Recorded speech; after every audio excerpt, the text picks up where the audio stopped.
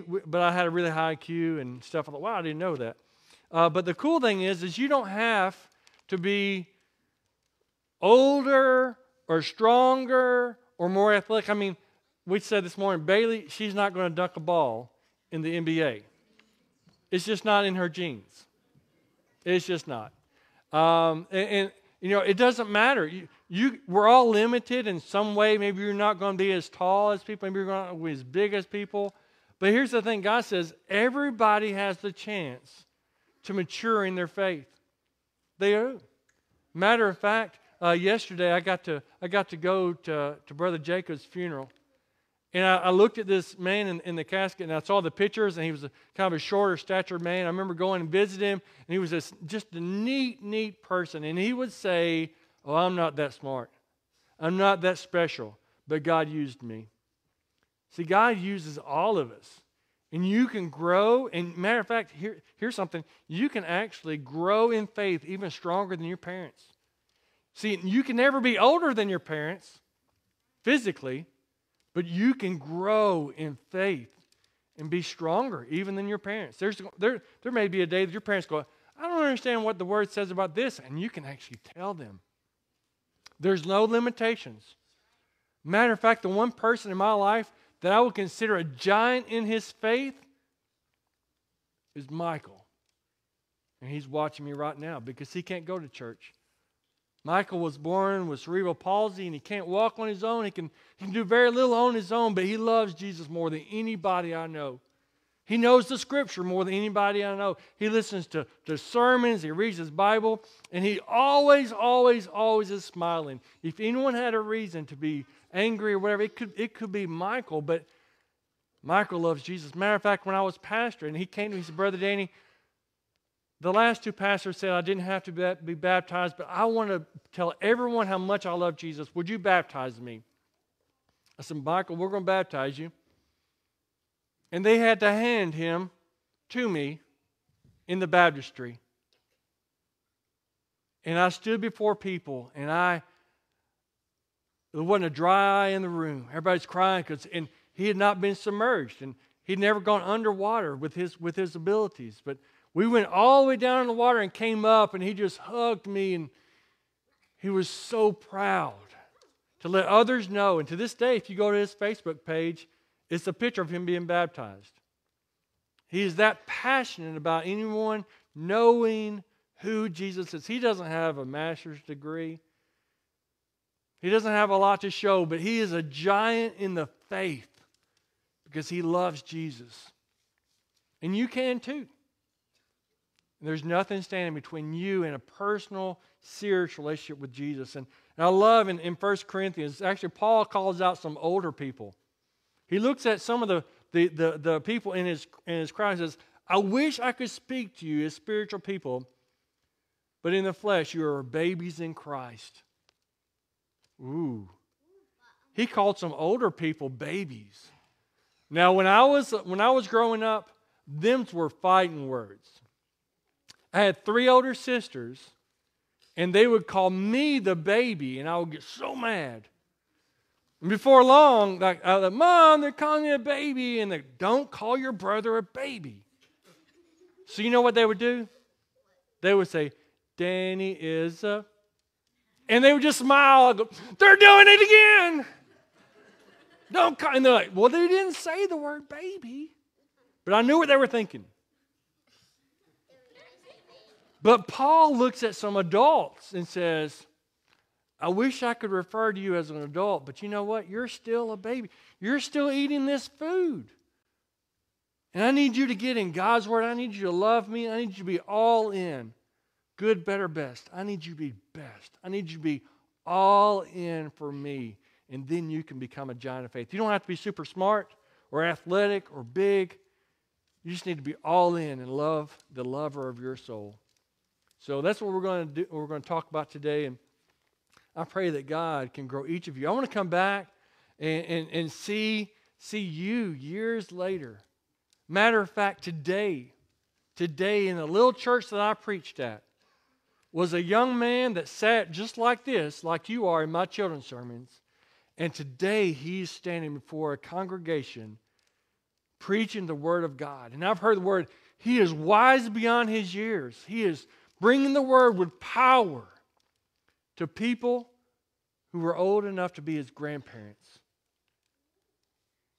You're only limited by your what you do with what God has given you. So let's pray and ask God to grow us up in him and to find our purpose in him. Let's pray. Dear Jesus, help us stop being babies in Christ. Help us get in your word and love on you, the lover of our souls. Father, not that we may be, be bragful about being giants, because I know Michael's going, I'm not a giant. I know C. Jacobs will say, No, no, no, I'm, I'm not a giant. But Father, that you would use each of us in a small way is what we're hoping for. We're hoping that you would look at us and smile and say, That's my boy. That's my girl. You're growing up, and I love to see your growth. Father, help us grow in our faith and grow closer to you. I love you, Jesus. Your most holy and precious name. Everybody said, Amen. Miss Crystal's going to take y'all to children's.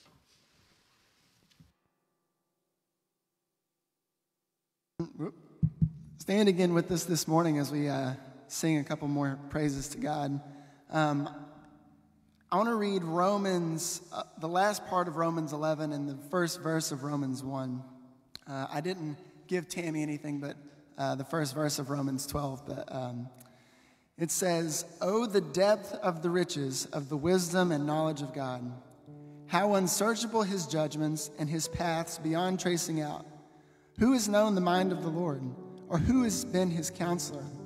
Who has ever given to God that God should repay them?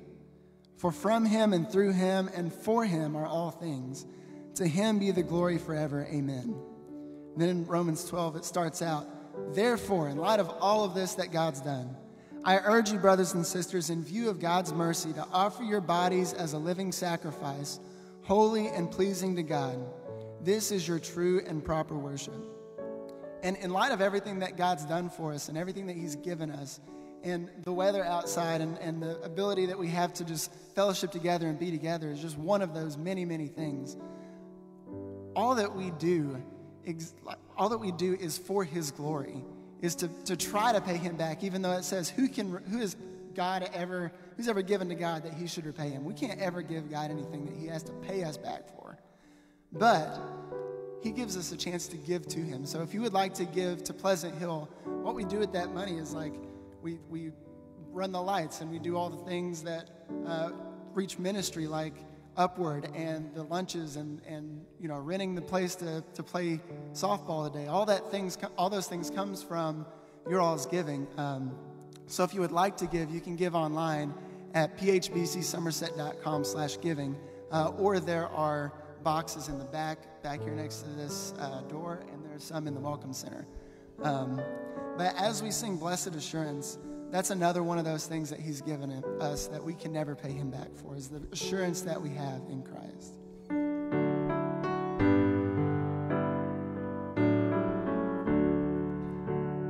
Blessed assurance, Jesus is mine. Oh, what a foretaste of glory divine, heir of salvation of God, born of His Spirit, washed in His blood. This is my story, this is my song, praising my Savior all the day long. This is my story, this is my song praising my Savior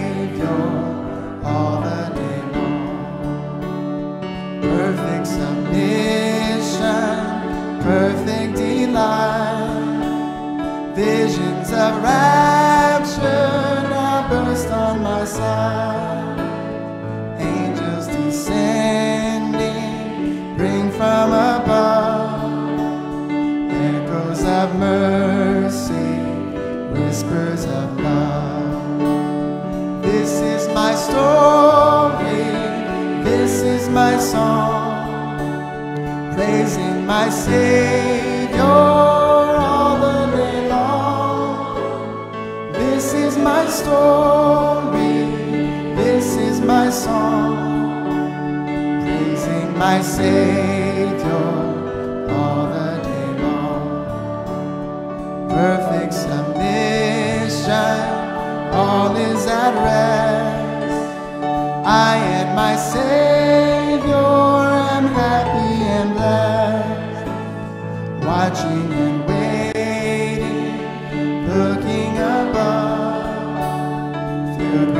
This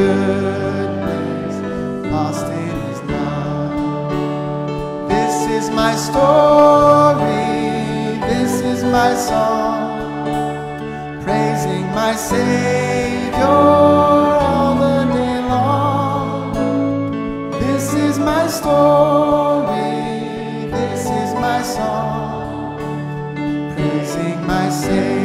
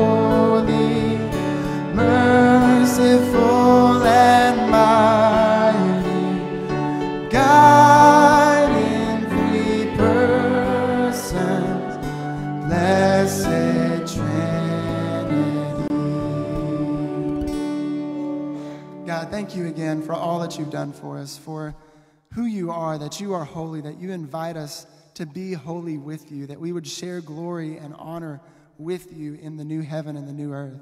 God, I just pray that as Corey comes and brings this message about maturity, that you would ingrain it into our hearts, that, that we would look forward uh, to being like Christ, to being to the full stature of Christ in maturity.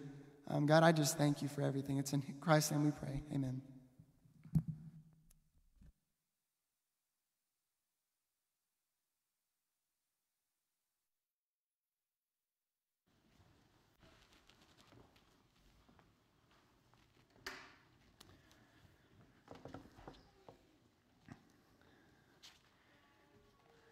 Thank you, Devin. We're in Ephesians chapter 4 this morning. If you want to have your Bibles ready, I am going to finish the series today, Your Part Matters, and I want to talk about how we grow in maturity. You know, when I think about my life so far in Christ, I got saved at the age of 17 and uh, came to know the Lord and walked with the Lord and got plugged into a church family and became active in a church body serving. I look back at my experience and I realize now that many churches offer a menu. And what they say is we've got these worship services, we've got these Bible studies, we've got these groups, we've got these uh, ministries. you need to get involved. Pick one. Well, which one? Well, they're all good, so pick as many as you want, you know? And we, we take a menu approach when it comes to spiritual maturity. And I think what we're going to have to do as a church moving forward is have a map mentality, not a menu where you pick and choose things, but a map that says, where are we going and how do we get there? You see, I think we have mis- mistaken spiritual maturity from church commitment. Let me let that sink in for a minute. Just because you're always here, and praise God for that, that doesn't automatically turn into spiritual maturity. See, the Great Commission is about reaching people for Jesus and then learning to obey everything He's commanded us, and that part is the spiritual maturity, the learning to obey Him and everything He's commanded us.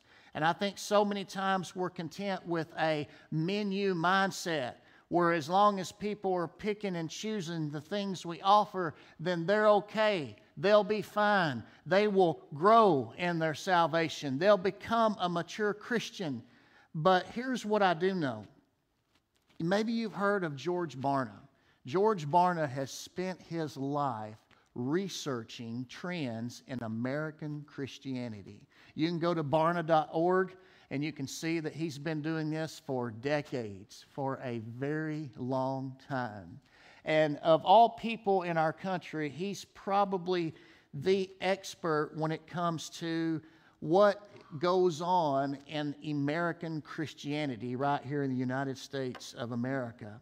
And a few years ago, he, he wrote a book, and I didn't realize this, I'm kind of behind, but I'm going to be catching up soon. But he, uh, he wrote a book after he did six years of research. He surveyed more than 15,000 people. He wanted to know how they grew in spiritual maturity. The research showed that people are transformed through a combination of experiences, knowledge, and relationships, and the absence of any one of those three can inhibit a person's growth. And so he comes up with this journey of a transformation journey. And I want to just map it out for you real quick. There's 10 stops on this journey of uh, spiritual maturity. He calls them stops simply because they're like mile markers along the way, but he also calls them stops because many times people just stop at a spot and they get comfortable and they stay there. Let, let me give you these real quick. They're illustrative more than anything. Uh, stop one is the ignorance and exi- the ignorance of the concept of sin. There are people out there that are ignorant when it comes to sin. They just they don't know what sin is. They don't know that they have sinned. They're just they they just don't know. And that is the first step. Now, most people are aware that they're sin. I mean, you can look in the world today. We got all kinds of problems. Without pointing fingers, you know what it is? It's sin, okay? And so the second stop is the awareness of and indifference to sin. This is when you realize that sin is a problem. There it is. Step two, you're aware of sin. You know it's an issue, but you're indifferent to it. Oh, you know, I'm not going to worry about that. And then step three is concerns about your personal sin, the implications of your personal sin. Now, for those of you that have been church a long time, step, stop three is when somebody's under conviction. Okay? They know what sin is, they're aware of their sin, and now they're going, man, I, I really need to realize something here. I am a sinner, I have sinned. And then stop four is confessing sins and asking Christ to be their Savior. That's the moment of salvation. That's the line that they crossed when they say, You know, I know I'm a sinner and I need to be saved, and I'm, I'm asking Christ to come into my life. And so, if you're saved this morning, you've at least made it to stop four. And then stop five is commitment to faith activities. That's where someone gets involved in church. And then many times it stops at five, and we're only halfway through the journey. You might say, well, what's the rest of it? Well, Uh, stop six is experiencing a prolonged period of spiritual discontent. Um, let me say it this way. Many years ago, one of the largest churches in our nation, Willow Creek in Chicago, Bill Hybels was the pastor. Thousands of people were members of this church. And when they did an internal survey, there was a lot of dissatisfaction. And they thought, why? And so they spent a whole lot of money. They utilized a whole bunch of experts. They did all this research and they came out with what they called the Reveal study. And it revealed what was really going on. A lot of people were active in their church, but they were not growing in their faith. Thus, the difference between spiritual maturity, which is an inside job, and church commitment, which is something you can see with your eyes when people show up every single week. Two different things. And so, here, step six, a prolonged, prolonged period of spiritual discontent, I would describe that as this way it's when we replace obedience to Christ with activity in the church. Let that sink in. It's when we replace obedience to Christ with activity in the church. We tell ourselves, well, I go to church every week, I read my Bible every week, I pray, I give, I do this. What does it matter if I'm thinking this? What does it matter if I'm holding something in my heart towards somebody? What does it matter if I have this secret sin? I'm okay because I'm busy, I, am involved. And that, to me, is what creates this spiritual discontent. And then stop seven is experiencing personal brokenness. Now, again, this is almost like a spiral. It's just going deeper into a core of reality here. When you uh, experience brokenness, you're not getting saved again. We're not talking about some kind of second experience or anything like that. Really, what we're talking about is once we get saved, everything's so fresh, everything's so new that when we begin to stumble and kind of mess all that up, then it's kind of disheartening. And then we kind of set our expectations. Well, I'm just going to go to church and blend in, and I'm going to just do this, and I'm going to be a good Christian. And we kind of settle for less than God's best in our lives, and we learn the Christian language, and we learn how to act in church, and we just kind of fill the part. We follow the role. And here it's showing where God is really wanting to do this deep change and transformation in our lives. And so it requires personal brokenness. Uh, I would describe it this way. We've sung a lot of wonderful hymns this morning. One of them that comes to mind, I need thee every hour. Do you remember that one? I need thee every hour. It's one thing for me to say, Lord, I need you because I am a sinner and I need to be saved. That's awesome. But when you begin to realize, Lord, I need you every moment, I need you every minute, I need you every hour, and that is what leads to stop eight. And stop eight is choosing to surrender and submit fully to God. And he describes it as radical dependence. You know, when you grow in maturity in this world, we look at it and say, man, they're very independent. You know, they're responsible. They get up every day. They have a job. They pay their bills. They're, they're so responsible. Look at this person. They're very independent. They're not dependent on anybody. They get up, they get moving, they get going, they take care of themselves, they even take care of others. Independence can be good when we look at someone's maturity. They, they grow up, they leave the home, they have their own job, and now they become, you know, financially independent and so on and so forth. But, but spiritually speaking, independence is not good because I need Jesus. I need the power of the Holy Spirit. And the sooner I learn to depend on Him every moment and every minute of every day, the better off I am. And so you can see there at stop eight.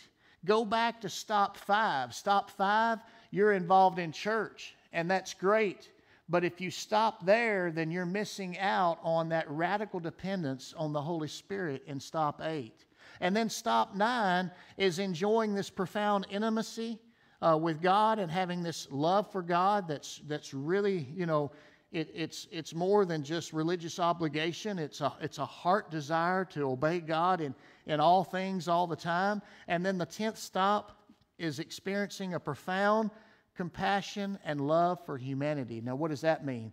That means when you get to stop 10, you love God and you love people simply because you see the world the way God does.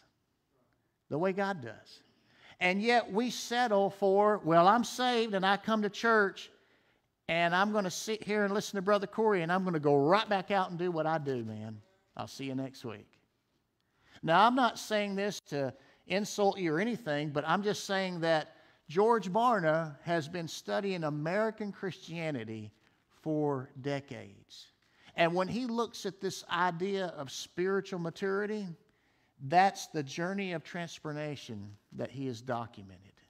And basically, what he challenges everyone to do is say, Where are you? On that journey, where are you? Stop one, two, three, four, five, six, seven, eight, nine, or 10. That is a question that I want you to think about this morning. And when it comes to spiritual growth and maturity, how do you define it? Well, my favorite definition from one of my favorite preachers, Tony Evans, is this Tony Evans says, Spiritual growth, and I would also add maturity, is more of Christ being expressed in my life through less of me. Isn't that good? More of Christ expressed in my life through less of me. It reminds me of John the Baptist when he came on the scene. And his, his role, his call from God was to prepare the way of the Lord. And everybody came out and said, Are you the one? He goes, Nope, I'm not the one, but he's coming behind me, and I'm not worthy. You know, I'm not even worthy to untie his sandals. And so John the Baptist said in John 3:30, he must increase, referring to Jesus, but I must decrease. That's what spiritual maturity at its core is. It's saying, you know, I know the Lord and I love the Lord and I want people to see Christ in my life. So He's got to increase and I have got to decrease. And so to, this morning, I want to invite you to consider are you ready to grow in spiritual maturity? We're going to look briefly at Ephesians 4 this morning. Uh, Ephesians 4 11 through 16. Uh, Christ gave some to be apostles, some prophets, some evangelists, some pastors and teachers, equipping the saints for the work of ministry to build up the body of Christ until we all reach unity in the faith and in the knowledge of God's Son, growing into maturity with a stature measured by Christ's fullness.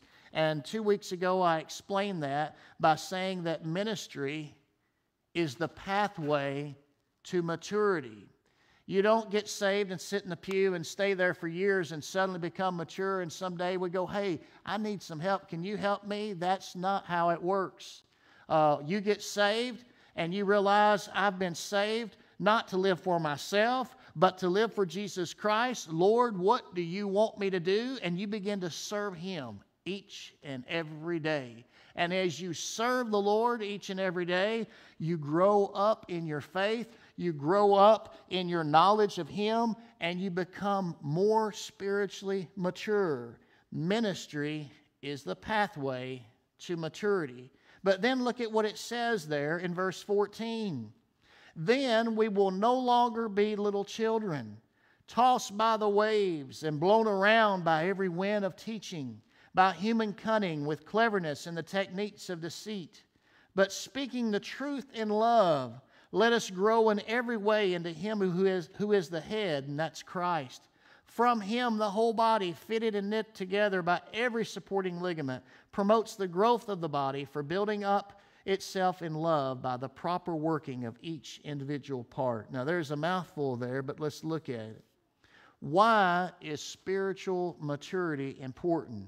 The answer is in verse 14 because then we're no longer little children. We're not tossed around by the waves or the wind of every teaching that comes along, by the human cunning with cleverness and the techniques of deceit. I hope you realize now more than ever that we have to filter everything we see and hear. We have to ask ourselves is that true? Is it biblical? You know, is it right? Is it real?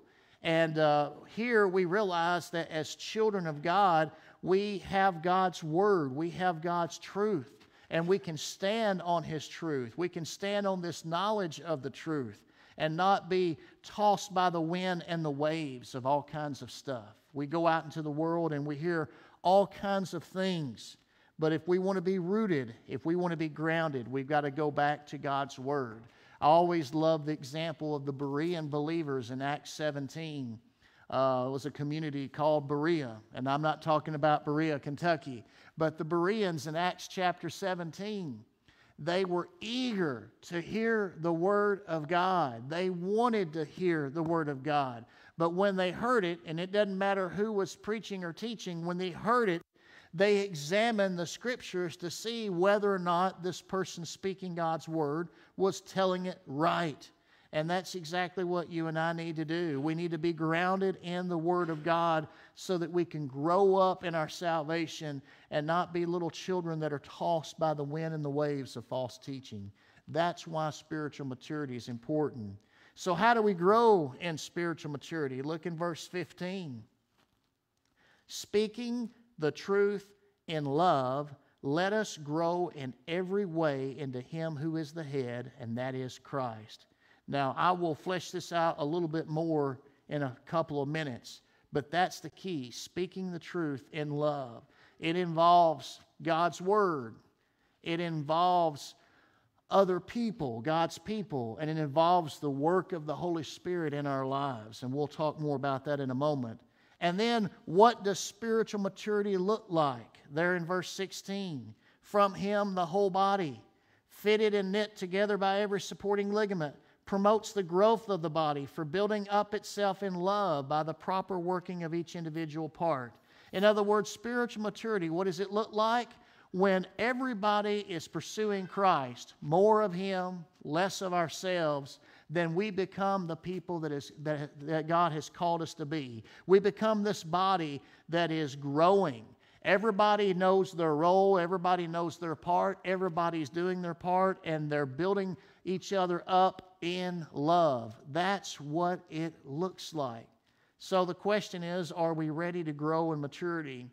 I want to show you how this morning, going back to that verse, speaking the truth in love, let us grow in every way into Him who is the head, that is Christ. Okay, three things we can do this morning. Number one, put God's Word into practice. Put God's Word into practice. Um, you know, going back to the Great Commission, we have to learn to obey everything that He's commanded us. And that takes a lifetime.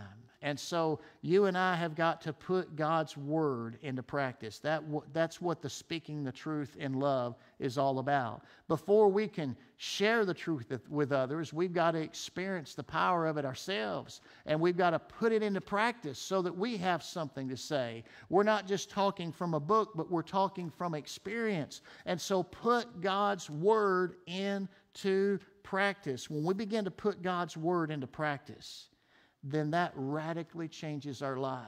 You know, the funny thing is that Reveal study that I mentioned a few minutes ago that Willow Creek did years ago, they paid thousands of dollars for all this information. And you know what the number one thing they learned was? Do you know what the number one predictor of spiritual growth is? Their study can tell you. The answer daily Bible reading. How about that? All that money to be told, did you read your Bible today?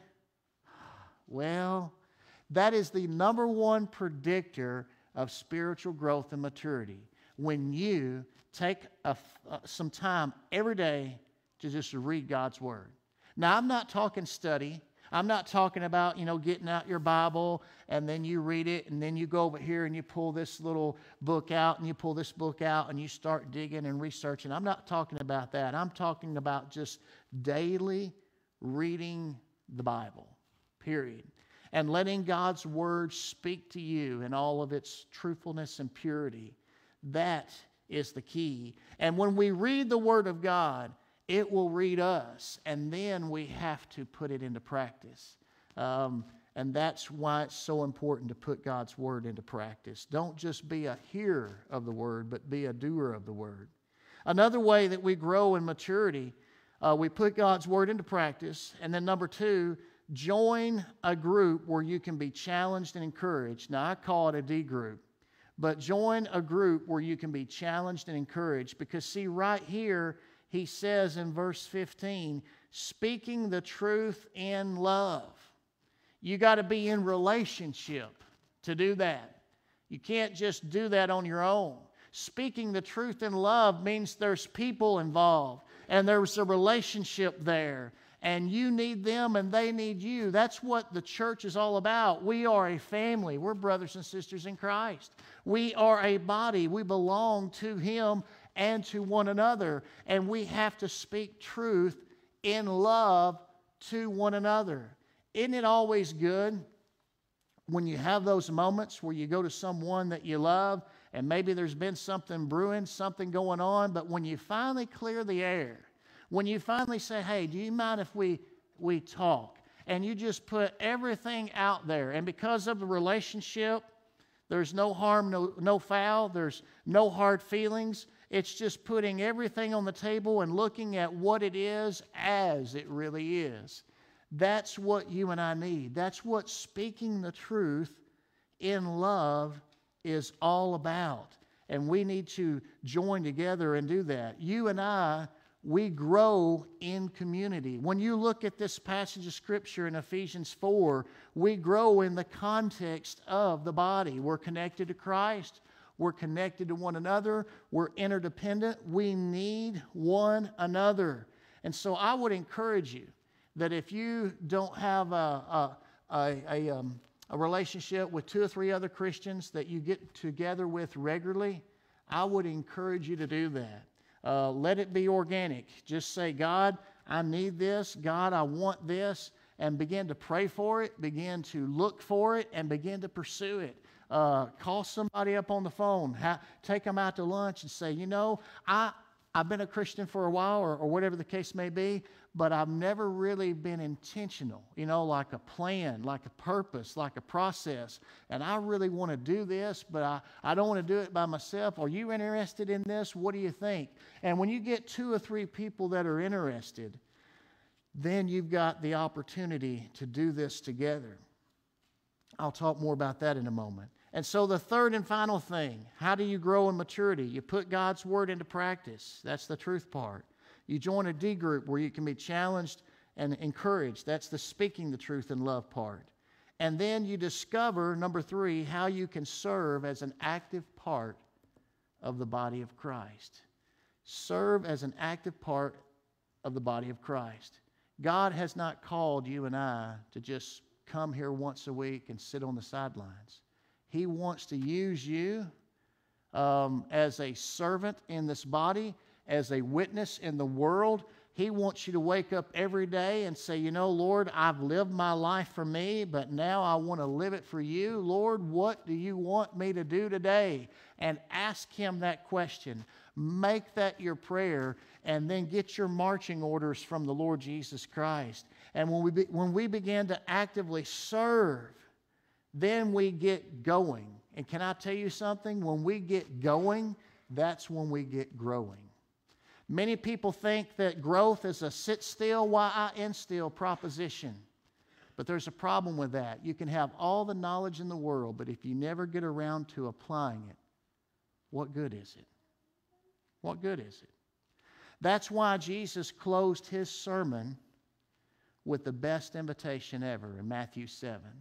He says, He who hears these words of mine and puts them into practice is a wise man. He's a wise man who built his house on the rock. And when the storms came, when the wind blew, when the water rose, guess what? It stood. But if you hear these words of mine and you don't put them into practice, then that's foolish. And the foolish man built his house on sand. And when the storms came and the wind blew, and the water rose, guess what? That house was washed away. You and I have a choice and we have a responsibility. What are we going to do with God's Word in our lives? Are we going to do, are we just going to hear it and go, yep, mm-hmm, yeah, that's good, that's all right? Or are we going to put it into practice? Are we going to get in a relationship with other believers where we can be challenged and encouraged and then begin to serve and do our part, whatever God wants us to do in the world and in the church?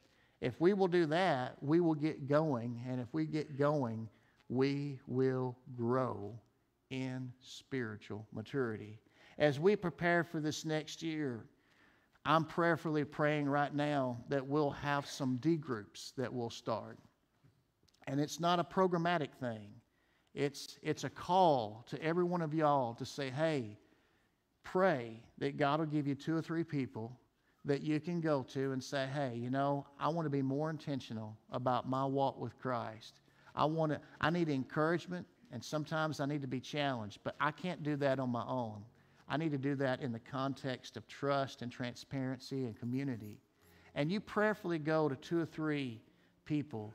Guys, go to two or three men. Gals, go to two or three women. And when you have your group, we'll have stuff ready for you to use. It's not a teacher thing, it's not a class thing, it's not a Bible study thing. It's a series of conversations that will give you some material to so, kind of get the, the, the table set and the conversation ready. And all you got to do is show up and have these conversations centered around God's Word and around your life so that you can be encouraged, so that you can be challenged, so that you can grow in your walk with Christ. I want to encourage you today to take that first step, to start praying about it. Start, start realizing, you know, where am I on this journey of 1 through 10 that we showed while ago? And where are you? And if you've took the step of already coming to Christ and getting involved in church, I hope you realize there's still a whole lot of steps left. Not that I'm trying to make it hard, not that I'm trying to make it difficult. But even George Barna says if you really want to be changed by Christ, if you want to be transformed, realize the map. There's a map, there's a journey that you go through, there's a process. I think we've got to stop buying into the menu mentality. Hey, Pastor, I want to grow. What should I do? Well, we got this, this, this, this, this, this, and this. Well, what should I do? Well, try them all. They're all good. Or we could have a map. And when you learn what the map is, you know exactly where you are and you know exactly where you're headed. And now that you know where you are and where you're going, you know how to get there. And that's my prayer today. so, today, if you've never trusted Jesus Christ, that's your first big step of realizing that you're a sinner and you need a Savior. And you say, Lord, come into my life, save me, I'm yours and you trust and follow Him.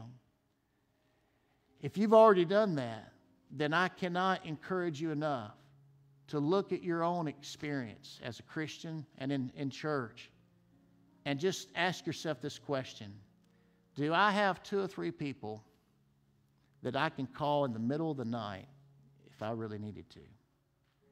And if not, I want to encourage you right now to begin praying that God will give you those two or three people and then approach them one on one, personal invitation, and say, Man, I really want to be more focused and intentional about growing in my Christian life, but I can't do this on my own. And I was wondering if you might be interested in getting together ever so often, and we'll have some conversations centered around God's Word and how to actually live that out in our lives. I challenge you and encourage you to pray about that. Let's all stand as the musicians come. We're going to have a time of response. This is our invitation. And it's my prayer that you'll do exactly what God wants you to do as we pray. Father, we come before you this morning. Thank you for this time together. Lord, thank you for your word. And Lord, most of all, thank you for Jesus. Father, I pray for your will to be done in our lives. Lord, every single one of us is on a journey. And Lord, that journey is going to end someday when we stand before you. And Lord, it's my prayer that none of us will be unprepared for that day when we have that moment of truth. Father, I pray if there's someone here today that's never took that first step of faith, I pray that they would do it before it's too late. And Lord, I pray for every believer in our midst today.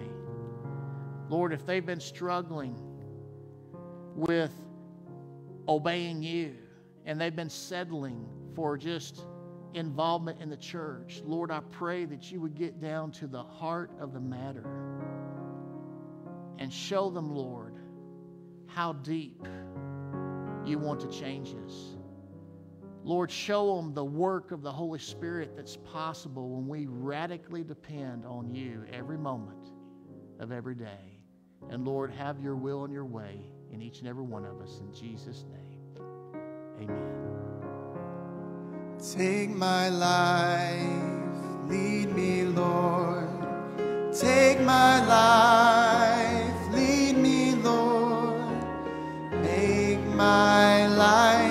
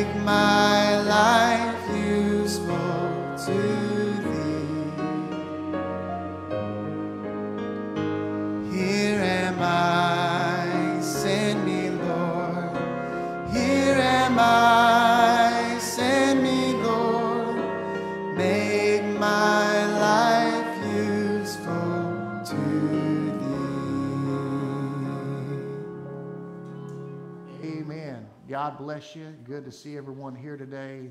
We hope you can join us uh, in another hour at Shopville Park. We'll have a good time of food, fun, and fellowship. And the lunches will be self contained. You don't have to bring anything but yourself and a smile, right? All right. God bless you. And um, I want to ask Brad Hewitt if he would dismiss us in prayer, brother.